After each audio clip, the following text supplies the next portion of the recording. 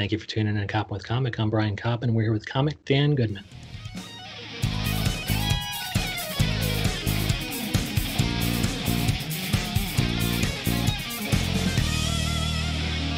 Dan Goodman, how the hell are you?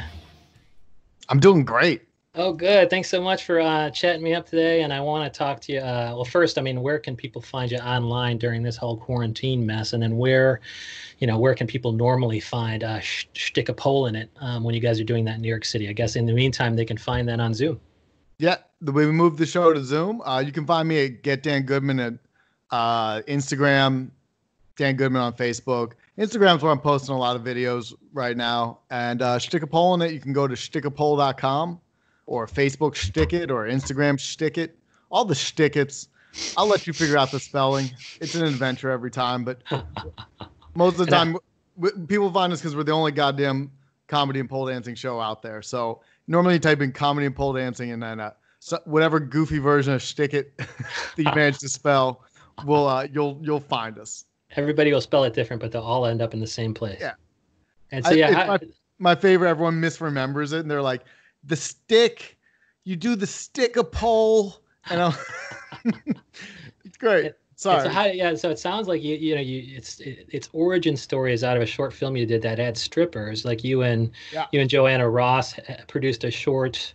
I don't know if I said Diane Ross, but yeah, Joanna Ross. You produced a short film that had strippers in it, and you were like, "Wouldn't it be cool if we mixed strippers and comedy?" And so how yeah, you know, what's the origin story? How can you flesh it out? But also, Sure. how do, how the hell does it work for somebody who's never seen it, and how's it going to work on Zoom? Yeah. So we we um let's see. Let's start. I'll, I'll start off with just how it basically works. It's it's uh you know comics and pole dancers alternate the stage. So either me or Joanna will host. We do comedy up top. You bring on a pole dancer.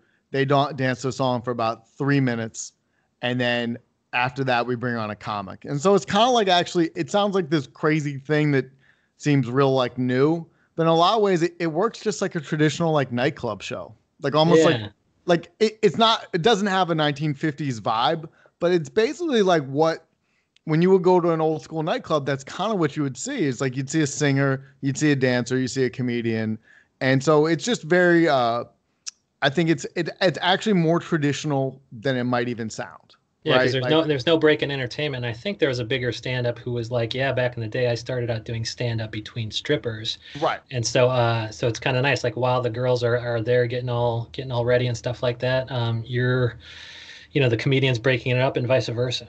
Yeah, it's. I'll be honest. I'm not. It's not that fun to watch 90 minutes of pole dancing, and it's very like, uh, you know, you get you're impressed at first, and then you watch. It's like I don't know if you ever watch like figure skating, gymnastics in the Olympics. You you're like, oh, that's incredible, and then you see like twelve triple Salchows in a row, and you're like, I I don't care.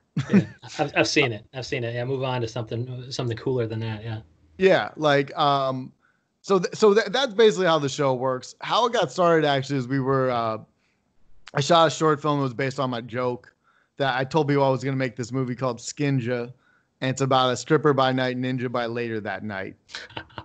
and it's, you know, actually another comedian was like, "Dude, we can make we can shoot that," and I was like, "How are we going to shoot that?" And he's like, "I know this really great DP."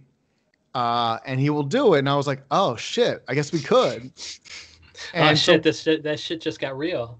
yeah, I was like, I, I never thought about it. And he was like, just shoot the trailer. Like it was kind of like we don't, we're not gonna. I, I like he made it much simpler, and we did a Kickstarter for it, and we back when like we were like not everyone was uh, doing a GoFundMe for, so they can like go to Florida or what, like you know like it's very it, it was a lot less saturated back then. I don't know if I would crowdfund again just Yeah. because I feel like now it's like people are asking for a lot for a lot of different things. But so we we crowd fundraised and we hit our goal really quickly, which is amazing. Wow. And uh, and so we made this two minute thing. It, I'm really proud of it. You can still look up if you go look Google Skinja. Uh, well, you can see because the- it because it involves stripping and ninjas, I'm kind of interested in what the gift was. Like, if I were to donate to that GoFundMe or Kickstarter, what do I receive? The stripper or the ninja? uh, no, you receive some killer Skinja merch Okay. and Yeah, that could uh, get pretty, pretty funny, I would think. yeah, it was good. It, it was it, it was a really positive experience and uh, some DV a lot of that. This was 2012, so there was DVDs. I don't know if any, any of your listeners remember what those are. Um, they, they used to you they could even play them in your computer or your TV. It's a lost technology, and uh, what you call it. So so we so we did the the short film, and we are trying to get the feature film made. But actually, in the interim, um, uh, you know, a good friend of ours had breast cancer, eh, quite young, and Joanna was like, "We we should do a fundraiser for her." And I was like, "Okay, I don't know." Uh, uh how to do that. I've never done one. She was like, let's just, we, we know a bunch of pole dancers, a bunch of comedians. Like, let's, that's, that's a show. And I'm like, I don't know if that's a show. And she's like, oh, it's a show. Oh, and I'm like, show. okay. She see, yeah, she could see five years in the future.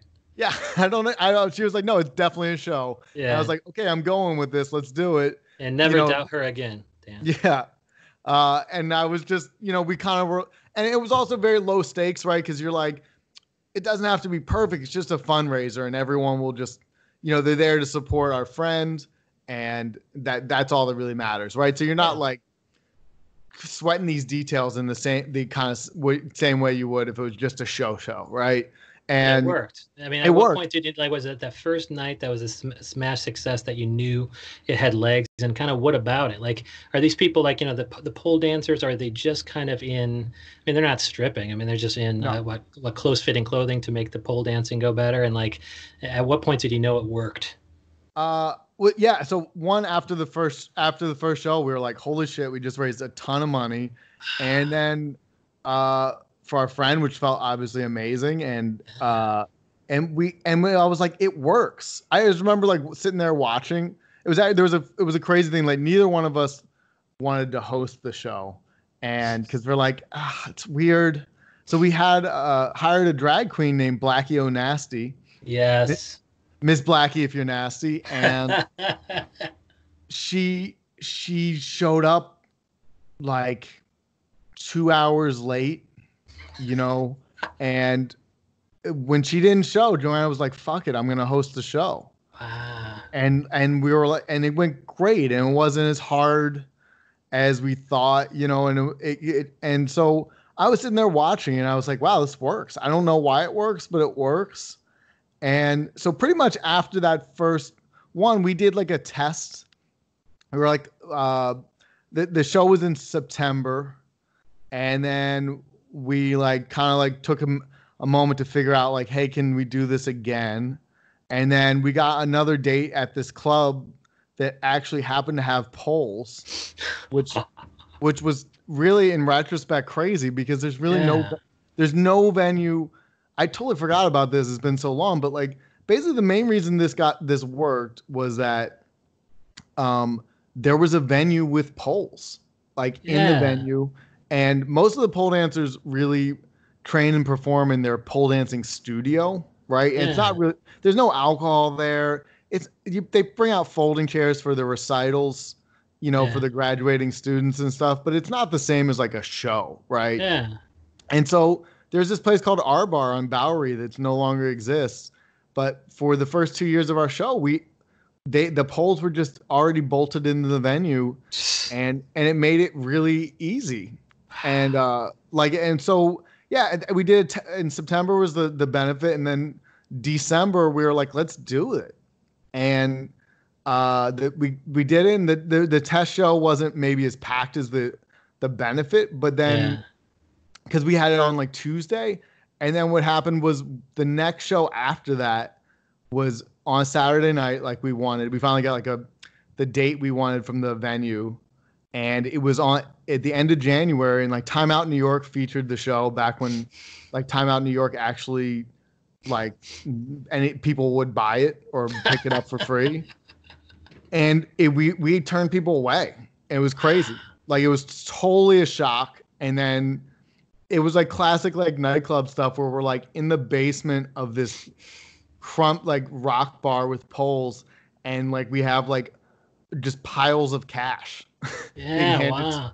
being handed to us, and we're like, oh fuck, what do we do?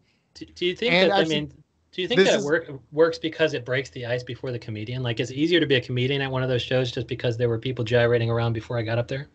Um, I would say this in the beginning, it would the, there were because there were a lot of pole dancers at the show. it what they, they'd never seen comedy before. so like, uh, you know, actually, I, I actually what it's so funny. It's like a comic you you can't you don't realize this, but I think most of the population is not. That maybe they've been to a stand comedy club once in their life. Yeah. They they kind of know what it is, but a lot of times they haven't ever been, and if especially if they're younger, like you know, like twenties, twenties, early thirties, they might have never been to a comedy club or they just went for their friends like funniest teacher contest or whatever, and uh yeah, so like a lot of them hadn't seen comedy before, so I think at first it was kind of like, oh, this is amazing, and then some a comic would say something they didn't like, and they'd be like, well, you can't, ah, you can't say that, and we're like, yeah, they can. It's very, it's very easy, uh, and so I, I think now, uh, either way, it doesn't. I think always the thing that worked is that the show kind of resets after each performer. Like you yeah. hear some funny jokes, it's good and then the dancer comes on. You're like, oh, this is new and different. Yeah, cleanses, leads, cleanses the palate almost. Yeah, like totally. And it's, it's the switch that I think that really works. Um, and so yeah, after after the first show, like we just were like, ah, oh, shit, we just made a ton of money. We have to figure out what what all this means and like what it all looks like. And I, that was the other thing is like we had no idea what to pay anybody. Yeah. Right. Like we had no idea if we were going to sell tickets or not the venue's taking a cut, and it was like this crazy thing of like, oh shit, we have this this works, we have to figure this out, uh, and then really like the show ran concurrently from then to now, uh, and like R Bar closed, we had to move the show. Yeah, how'd you we, find a place with a pole? So so as, so that so after R Bar closed, we had to provide the pole, and then it gets, it, then it gets hard, right? Like I don't know anything about this, and I don't like I don't know how how handy you are, how how much you know no. about. Like, no, no, nothing at all. How the fuck do you do that? Install the pole temporarily? How the fuck? There's, I mean, I don't know how much how much of this podcast you want to go into pole mechanics, but uh, just enough to let me know that I couldn't do that. How the fuck did you do it? There, there's two ba- there's two basic options, or actually there's three options. One, there's a portable pole that you set up. It's heavy as shit. Yeah. And you it can it, it doesn't connect to the ceiling. Then there's the there's a pole that that'll go up to 11 feet, which is uh and, and it fits like you know like a pull up bar would fit in your doorway. Yeah. It's like that, but on the ceiling. It's a pre- it uses pressure to like stay in place. Oh. And then ah. and then there's the the third option which we ended up with now, which is um it's you know there's a a ball bearing bolted into the to the ceiling and it just and you just uh screw it in, right? But and that they, was they like, let they let you do that. Like after a yeah. while, when they saw you were making money, this venue let you. Right. So basically, we we went to them, and they like the reason we're a big reason we're at the place we're at is uh, with Drom in New York City on Avenue A and Fifth is uh is because they let us be like, yeah, sure, cut cut into the ceiling. It's not a big deal. If not, you know, take we'll take it out. Yeah. Uh, and so yeah, that that is that was the big thing. But yeah, I mean that like that two minutes I just spent explaining to you about like here are the three pole options took like a ton of time for me to yeah. figure out like oh what do we do? Yeah but it's so cool that the venue allowed you to do it because first of all they like money and second of all and more importantly they like dancers yeah yeah they could, they uh, could do without the comedy but man those dancers are sexy right? Hey the comics carry the show you know? Oh, good. the dan- the dancers are on stage for all of if there's five dancers on a show and they total probably about 18 minutes of stage time total. Yeah.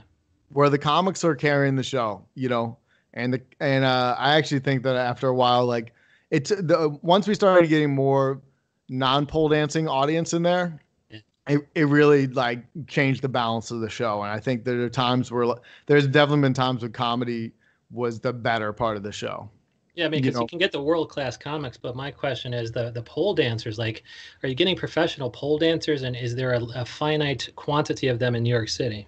Oh, good question. That is a good question. Yes, we're like, I would say like uh, we have some of the best pole. I would say day in and day out, we have some of the best pole dancers in the world. Okay. But the the other there's like kind of two other centers of pole dancing.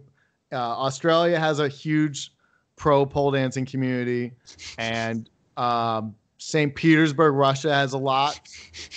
It's uh, cool that you know that too. You know pole mechanics and also what the meccas for pole dancing are. Yeah, like there's there's and uh, you know, obviously, LA has a really strong community, but uh, a lot of the dancers in New York has is a big one.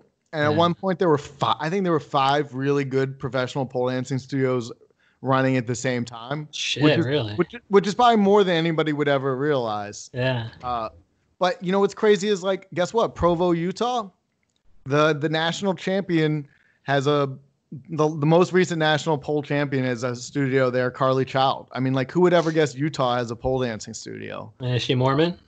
Uh, I don't think so. Okay. And I so don't, I, know. I, don't. I don't know. I mean, these is- comedians like? Do you have Australians and, and Russians reaching out to you to try to make sure they get on your show next time uh, they they come through? no. I think the, the problem is we our the show doesn't like pay enough to Oh, warrant like you flying here. Yeah. but it is a it is a it is the it, there is really no other pole what's interesting about this is there's no other pole show like there's not this other show that runs continuously they have like yearly of like a once a year event or a quarterly like showcase but we're the only thing that's really run and that, that was another big impetus when we were starting the show is like we were talking to these pole dancers uh, on the set of skinja and i was like you guys are amazing. You don't perform anywhere, and they're like, no, just just our the studios and the gyms. Like that's kind of it. And we were like, what do you? That's impossible. Like how you guys? You got to be in front of an audience. And me and Joanna were kind of like, oh, I can't believe these people aren't performing. It, it was like secondary to all the other things, but in the back of our head, we were like, oh, we got to get these people more reps in front of an audience. It's Yeah. they're too talented. Like you can't can't be a great performer and performing in front of your friends. You Yeah. know. Or a gym full of, or a, a studio full of students. And I guess, um, how often was it then? And then, um, what are you doing now that it's on Zoom? So the, the show was we actually after years of being just once a month, we for the last two years we were really excited that we were selling enough tickets that we moved to Friday and Saturday, so twice like basically one weekend a month, and uh, that was a huge accomplishment for us, and we kind of didn't know realize how much harder it would be.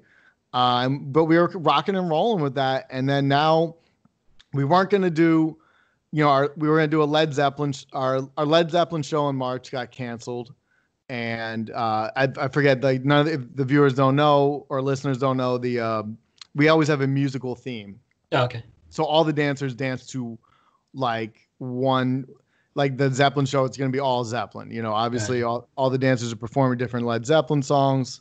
Uh, so the Zeppelin show got canceled in March, and then we were not gonna do an online show. Comedy with no audience is rough, Yeah. you know. And I didn't want to host a Zoom meeting for pole dancing. Like that doesn't sound fun. Uh, and so, but we watched some Zoom shows online, and then we were like, "This isn't bad."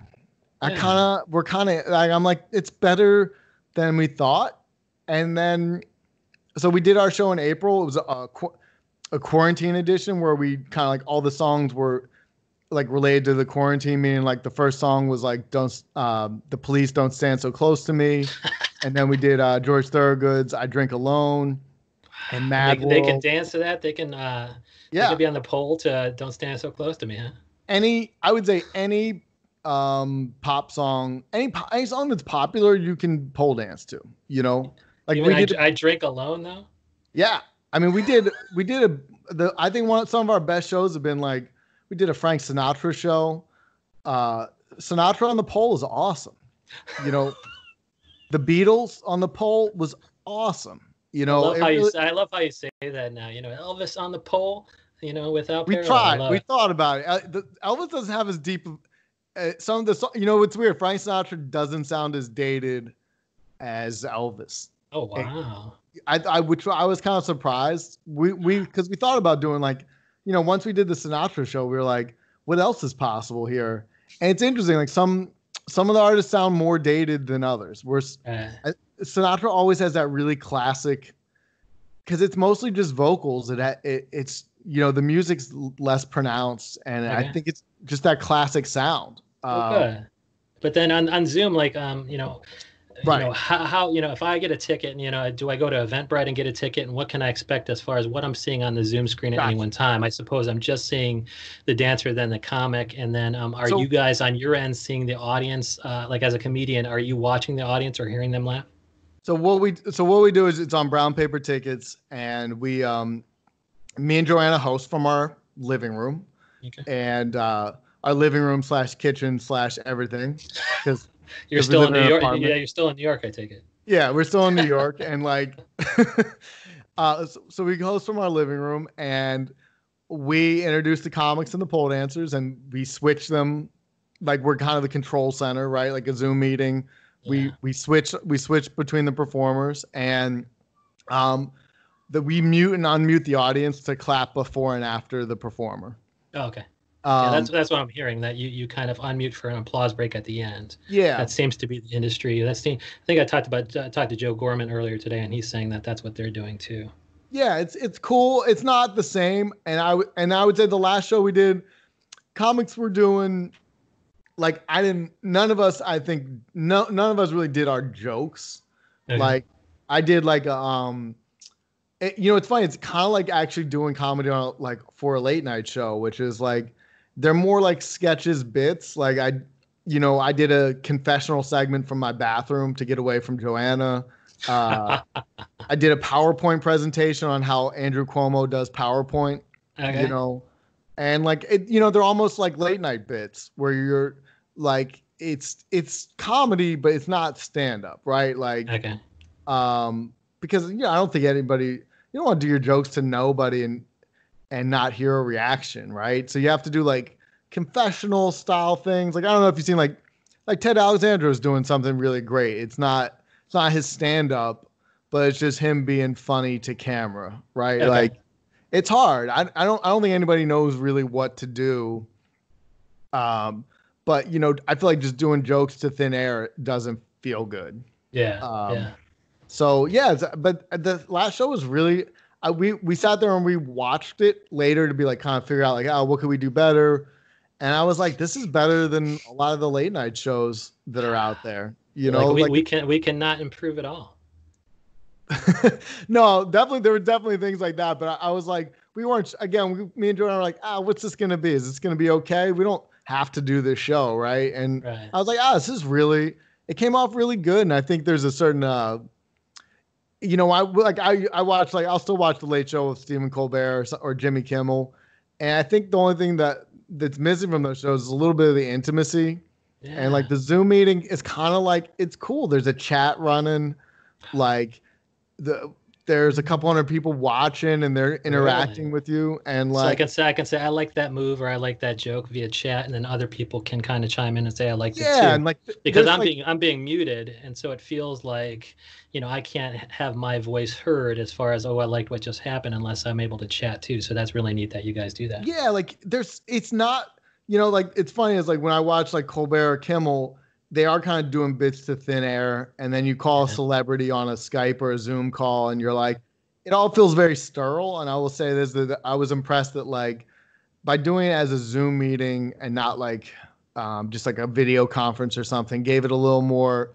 uh, like intimacy, and the chat was uh, helps. And then also uh, we heard that like some people had put up a separate computer, like they were watching on their computer, and then they opened a separate Zoom meeting on their phones with their friends to make it Oh. feel like uh, like we're at the show together. And you guys could start encouraging that as something you know people might want to do. Yeah, I like. I have to think. I I think there's a way with Zoom breakout rooms. I don't know how it works. It's Okay. I never wanted Well- to spend this much time with the technology, but Well, you're you're go- you're about to get as good at that as you got at at pole mechanics. oh, I know. Oh, but they can they they just Google around. First of all, they can follow you, Daniel Daniel Goodman on Twitter. um, but th- but also stick stick a pole in it. They can find out. But also brown paper tickets is where they'll get it. yeah, and uh, And then it- when will it happen too? Is it, is it every week or is it every month? it's every month. Uh, our next show is actually next Saturday, the 23rd. Okay. And uh, you know, get Dan Goodman on Instagram. It's probably my most active account. Okay. And uh, yeah, please come by. It's a great show. And if you need more information, you can go to stickapole.com. Dude, just Google it. You're gonna find it. Yeah. Stick a pole, stick, stick a pole in it or whatever, and it, it comes up to stick a pole, and it's, and I, I think that I'm looking forward to get Dan Goodman because I'm hoping that you have a clip of a pole dancer or two. Is that correct or no? Yeah. if or- not, or- you're, if not, you're missing out. yeah. No, I'm definitely uh, sh- at Facebook, uh, in Facebook and Instagram, it's Stick It. We'll give you tons of uh, ideas about what the show is and clips from the show and all all that good stuff. Dude, I can't wait. Dan Goodman, thank you so much. Yeah, thank you. Have a great day, brother.